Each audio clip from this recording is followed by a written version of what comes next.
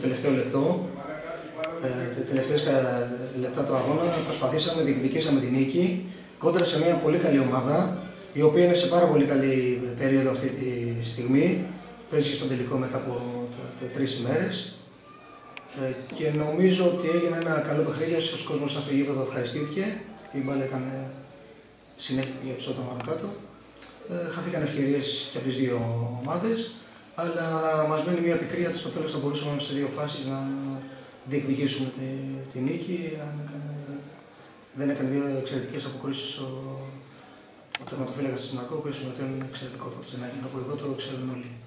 Έχουμε πει ότι τελευταία αγωνιστική θα κάνουμε τον απολογισμό μας, θα δούμε τον καλύτερο αυτό μας σε κάθε παιχνίδι, άσχετα με το αποτέλεσμα και στο τέλος θα αξιολογηθεί η προσπάθεια που γίνει μέσα στη χρονιά από τους ανθρώπους της διοίκησης. Μια κουβέντα για τον επερχόμενο τελικό της Εψανά μεταξύ της Μαρκό και της Στήλα Ραφίνα. Ε, Ποιος πιστεύεις ότι έχει τις περισσότερες πιθανότητες για να το κατακτήσει; Σίγουρα δύο ομάδες για να φτάσουν σε ένα τελικό είναι πάρα πολύ καλές ομάδες και οι δύο. Επίσης, σε ένα τελικό δεν χωράνε προγνωστικά. Και το κύπελο πάντα δεν παίζουν ρόλο οι κατηγορίες, ας έχουν μια κατηγορία διαφορά. Εύχομαι να γίνει ένα πολύ καλό ποδόσφαιρο το οποίο θα, αντα- θα αντανακλά και το ποδόσφαιρο που γίνεται, το ποδόσφαιρο που παίζεται στην Ευσανά, γιατί είναι δύο πολύ καλές ομάδες της Ένωσης. Και εύχομαι ο καλύτερος να πάρει το κύπελο.